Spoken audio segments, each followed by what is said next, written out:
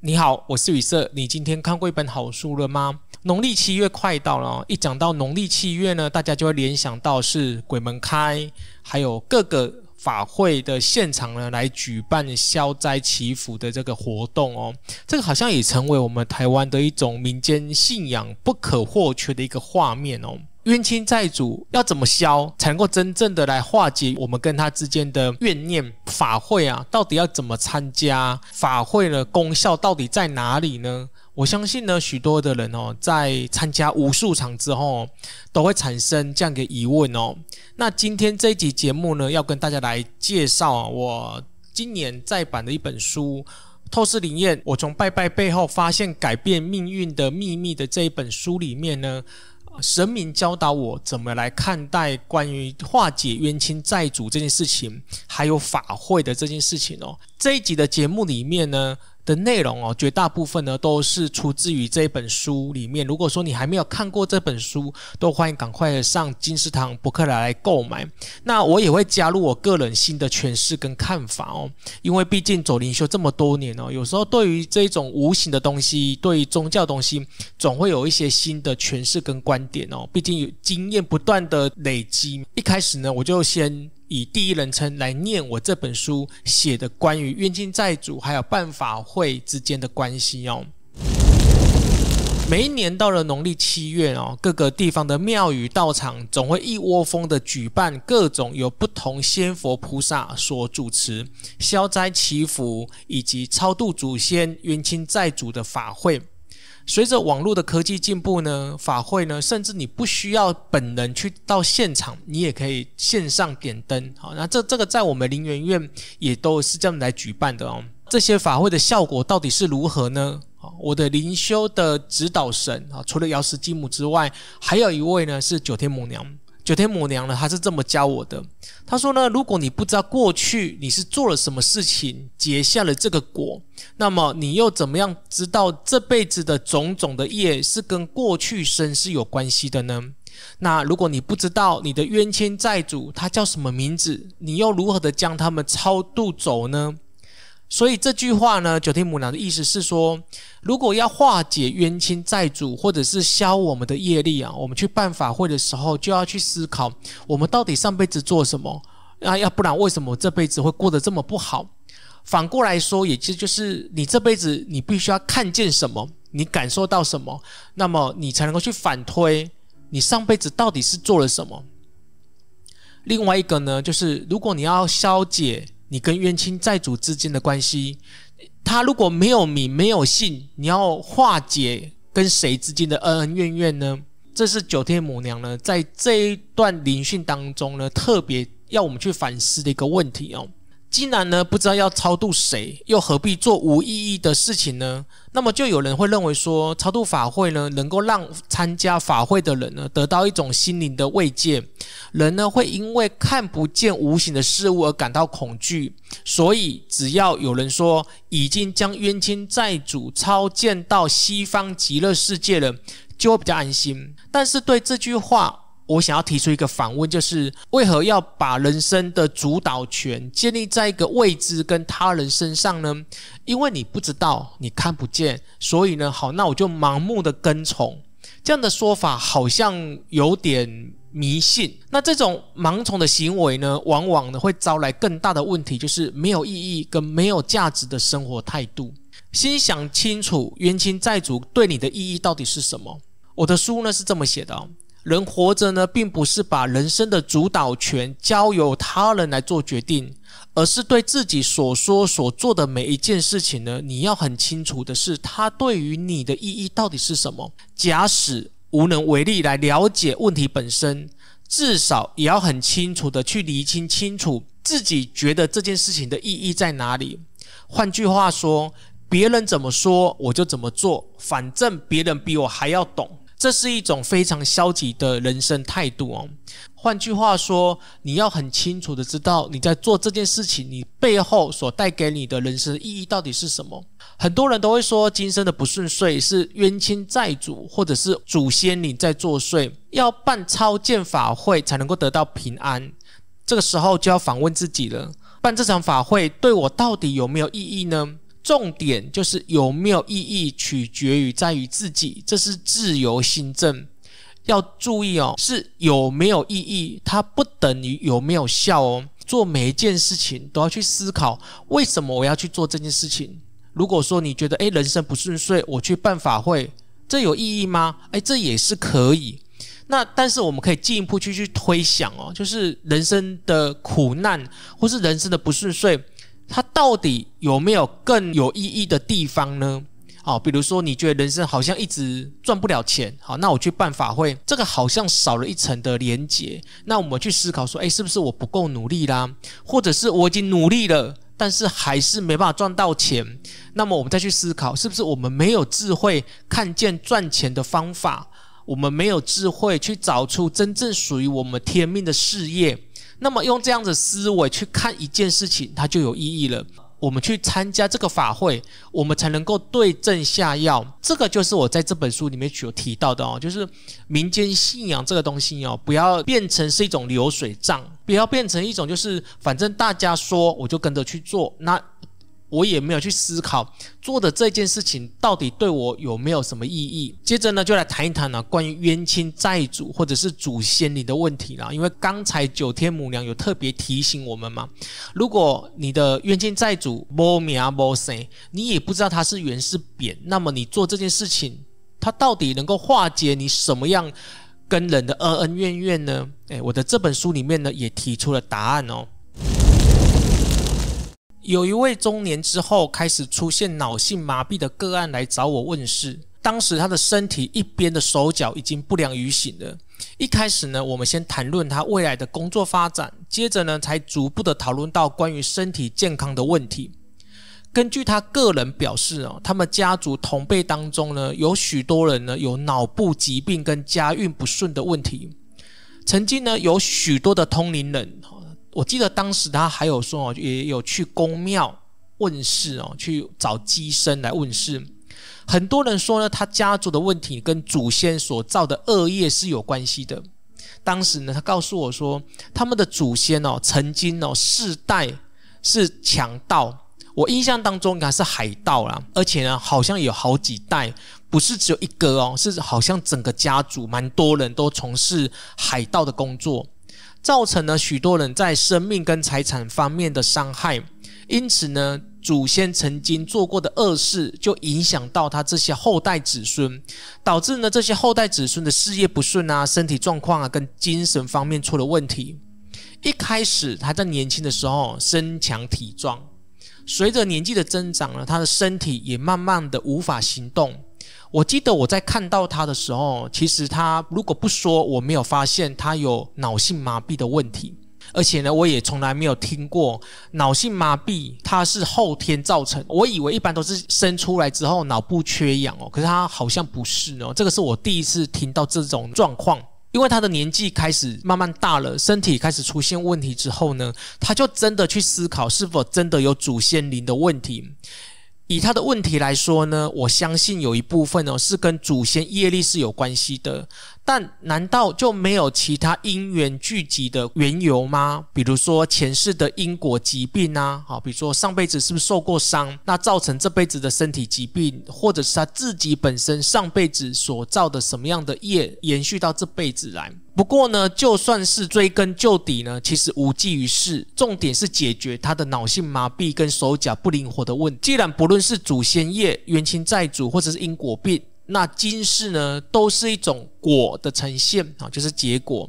那么就要去反问自己啦：今世是否抱持着积极良善的态度来帮助自己跟帮助他人？不论是因果病、冤亲债主，或者是祖先灵哦，不管它是什么，其实我们还是有消业的方法。就像我刚才所说的嘛，读书，还有反思，还有静坐念经、行善。还有在宗教上的羞耻，都是可以化解我们累世的业力在我们身上所累积、所显现的力量。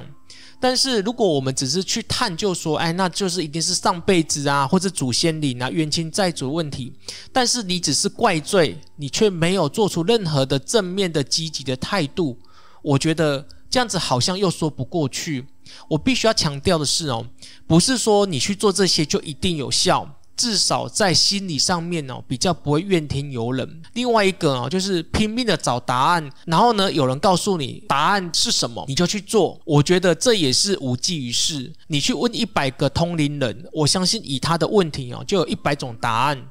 那么你就要做出一百种行为，可是这些事情呢，并不是发自于内心啊。刚才我说了嘛，就是这件事情到底对你的意义是什么？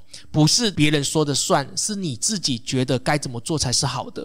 家里有问题的时候呢，就说嗯，我觉得我应该念经，我应该持咒，我应该要布施，或者是我应该要多看一些圣贤之书，可以让我心感觉到安稳。其实这个就是发自于内心去找到意义。这件事情跟问题本身之间的联连结哦。关于他的问题呢，我的灵修的指导神呢，无极药师金母呢，他是这么说的哦。他说呢，如果你都已经听过这么多的答案了，那么身为祖先后代的你，有为祖先还有今世的家庭做过什么善事吗？千万不要把问题哦都推给祖先。无极药师金母后来讲的这句话，真的让他跟我都起了鸡皮疙瘩。他说：“你不要忘了哦，或许你也曾经是自己口中的祖先转世哦。”好，这句话的意思是说，你认为你的问题是上辈子祖先给你的，所以你可以去怪罪你的祖先嘛？或者是认为说啊，这个就是上辈子啊那些祖先业力所啊造成的，跟我都没有什么关系啊？类似用这种方式去想。可是不要忘了哦，人会轮回哦，绝大部分都是在同一个家族当中不断的转世轮回，跑不了太远哦。这是我后来从许多的灵修的故事里面，还有通灵问世当中，我亲眼目睹了这样的一个现象，也并不是说每一个人哦。都会在自己的家族当中哦，不断的转世轮回哦，没有那么悲戚啊，哦，也没有那么好命啊。如果说你们家是贵族的话，也没那么好命。但是一定要有一个很大的因缘，才会转世到这个家族之外的其他的家族以及其他的国家，这个是有可能的哦。那有机会再跟大家来分享哦。所以呢。母娘意思是说，你觉得你的问题哦是祖先带给你的，可能也或许哦，你上辈子就是做了这些事情，才导致这些病因传承到你身上。那么就换句话说啦，那一些他的家族亲戚都有相同症状的人很多哦。他告诉我说，他的堂兄弟姐妹，还有他的堂兄弟的孩子都有脑性的问题，而且家庭都不顺遂。试想一下哦，如果上辈子的祖先是海盗，那么这一些人有没有可能，其实都是同一批人，原班人马的回到这一世再投胎呢？哦，这也是有可能哦。我当时就跟他讲了，我说从无极瑶池金母的这段话里面就可以猜想得到哦，在你们家族的同辈跟长辈当中呢，应该绝大部分的人呢是没有宗教上的羞耻，或者在生活上呢是没有修心养性的功夫的。他就点点头，肯定了我的答案哦，包含他自己也是哦。接着呢，我在书中是这么说的哦。在今生呢，把不顺遂呢推给祖先灵之前呢，不妨先问问自己：今生今世呢，我们有没有发扬光大我们自己的祖先家族？这里呢，并不是指说要做什么样的丰功伟业，然后行走在人世间，人的所作所为啊，本身你就带了你自己的家族跟宗族的业力在里面。也就是说，你不是独自之身呐，至少你有个姓氏嘛，对不对？你姓陈，你姓王，你姓张，那么就代表是你的宗族跟你你就有血脉关系。那你的言行举止，包含你在网络上所说的每一句话，其实都牵动了你跟祖先的关系。这是我个人认为的哈。所以呢，我们有可能也是我们自己祖先所投胎的吗？那今世的不顺遂，只是承袭上辈子的行为罢了。所以遭遇不顺的时候呢，先不要听信他人的话来怪罪我们自己的祖先，因为那些都已经不可考的哦，摸不到也看不着。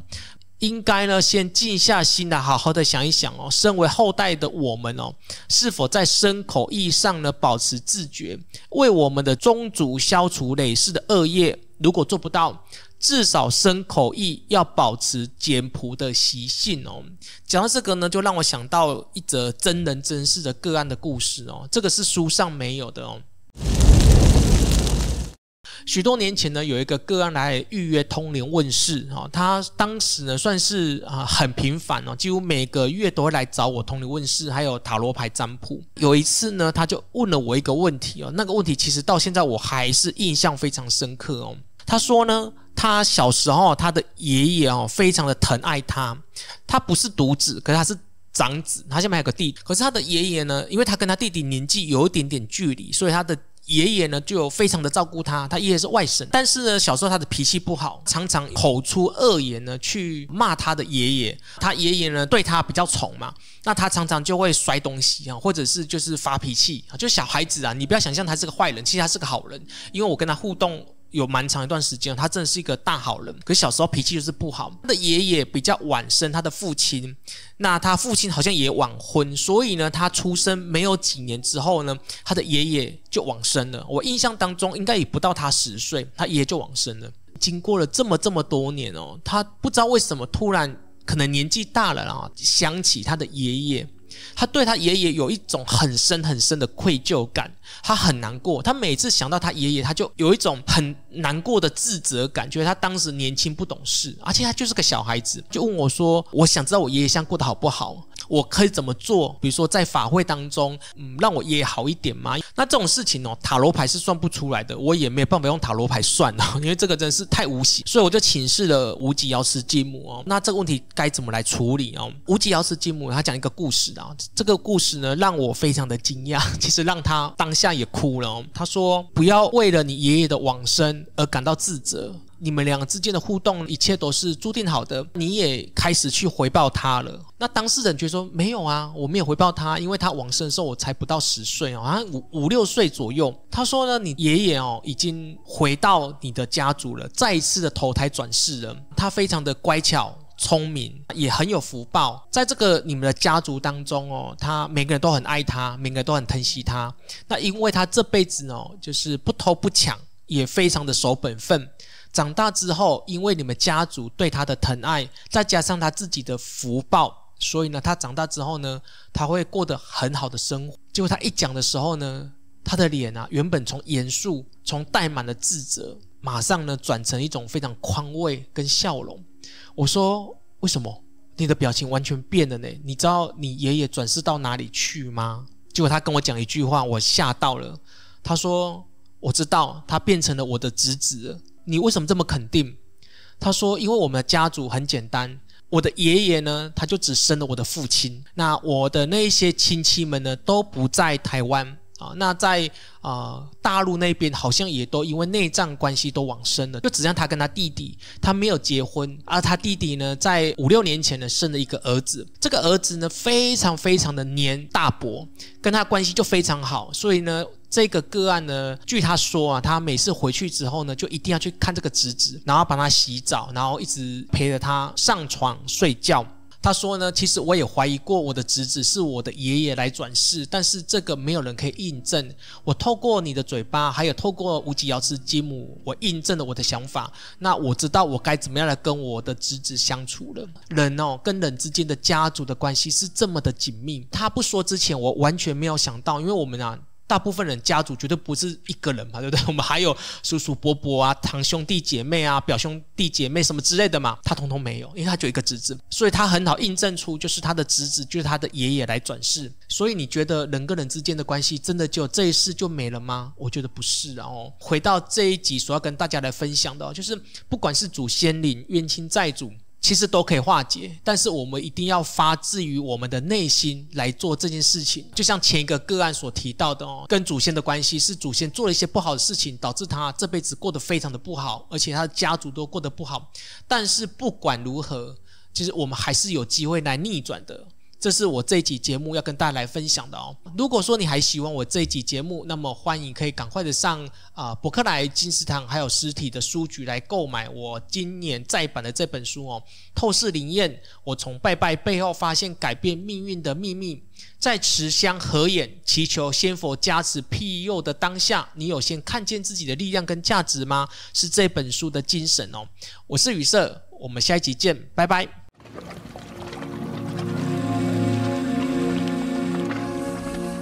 无极药师金姆是灵山派的创始神，在七十多年前降下了先天启灵法，唤醒了无数的龙凤儿的元神，开启了一连串灵山派的盛况。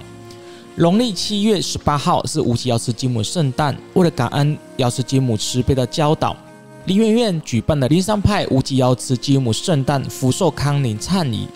所有的仪轨、阵法跟教导，都是在无极药师基姆降级指示之下来进行。无极药师基姆圣诞福寿康宁忏礼，详细的活动办法已经放在了说明栏。我是雨色，期待你参加这一场无极药师基姆圣诞。